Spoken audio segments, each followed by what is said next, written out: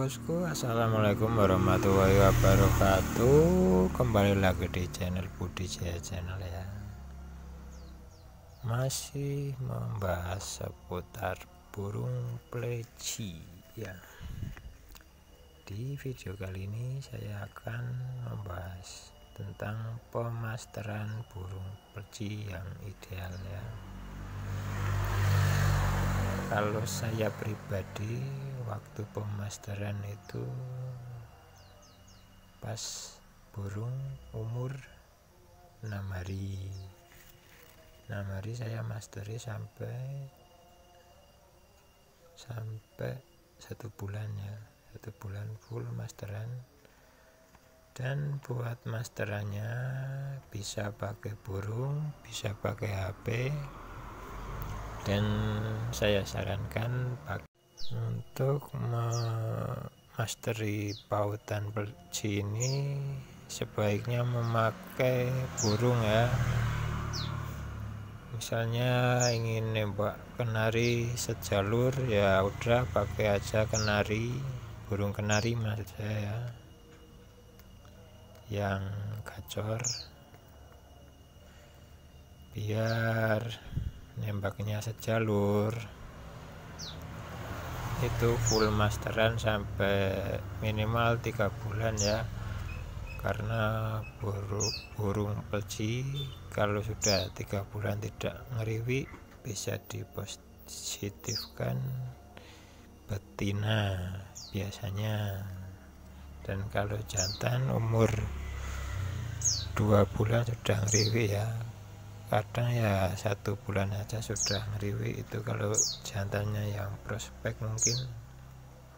Itu satu bulan sudah ngeriwi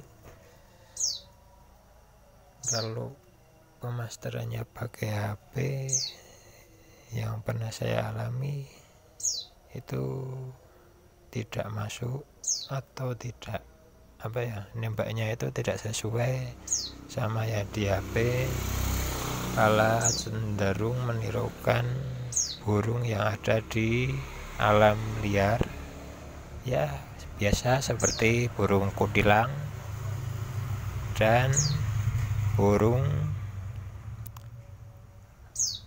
apa itu namanya ya toli-toli ya kalau di sini yang suka lewat sampai bunyi itu dan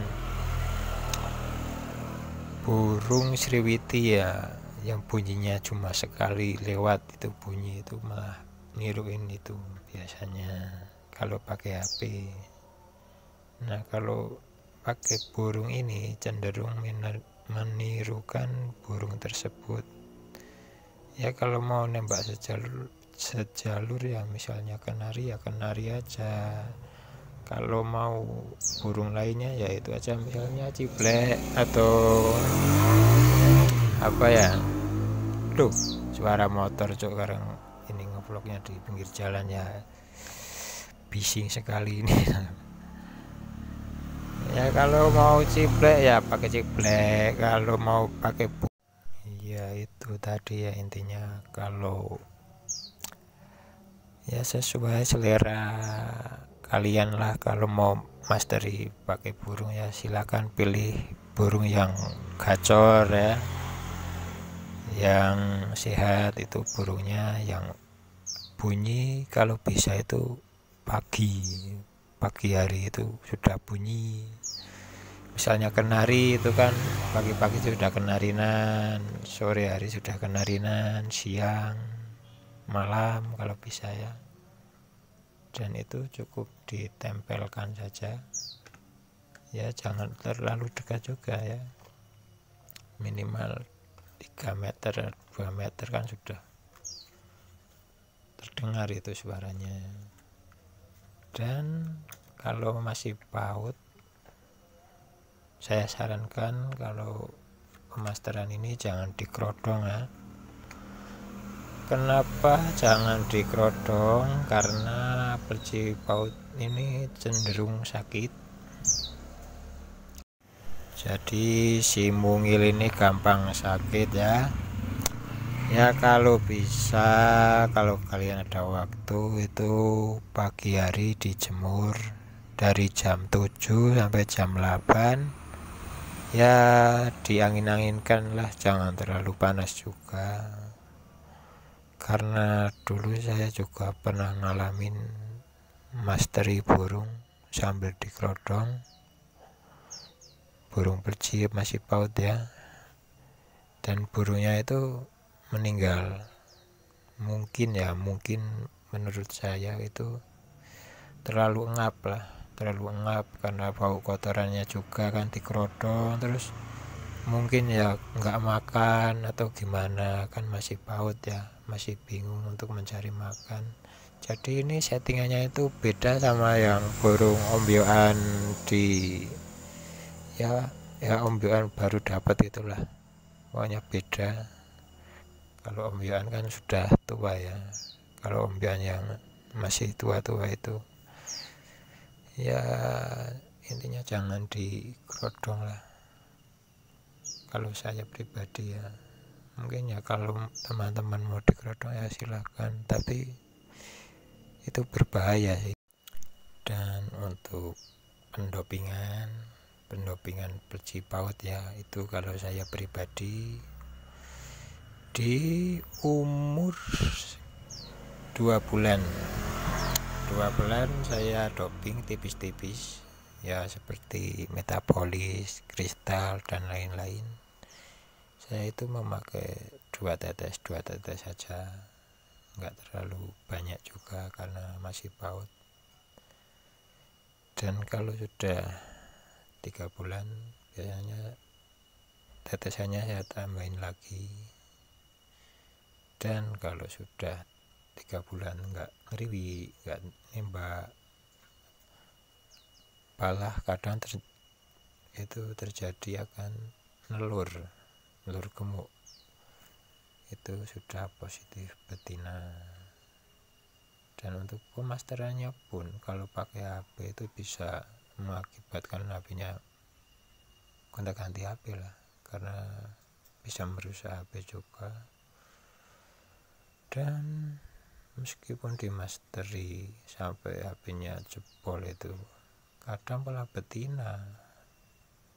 Nah karena saya sarankan kalian itu pakai masteran burung.